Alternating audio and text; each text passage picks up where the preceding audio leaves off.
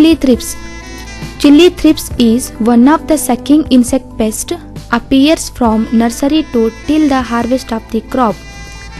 It belongs to family Thripidae and scientifically referred as Scirtothrips dorsalis. Adults are slender, yellowish brown, having apically pointed wings and measures about 1 mm in length. Nymphs are like adult in shape and straw yellow in color but are wingless and smaller in size. Both nymphs and adults suck the sap by lacerating the leaf tissue which leads to upward curling of the leaves.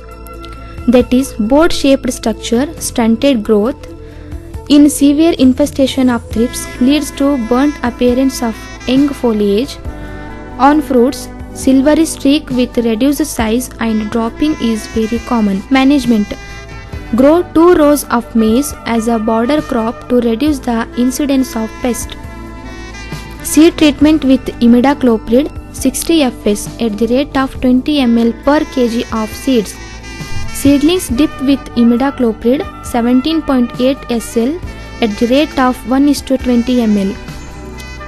Spray of oxydemeton-methyl 25 EC at the rate of 1.5 ml per liter or dimethoate 30 EC at the rate of 1.75 ml per liter or acephate 75 WP at the rate of 1 gram per liter or imidacloprid 17.8 SL at the rate of 0.3 ml per liter of water or fipronil 5 SC at the rate of 1 ml per liter or diafenthiuron 25 WP at the rate of 1 gram per liter or spinosad 45 SC at the rate of 0.12 ml per liter of water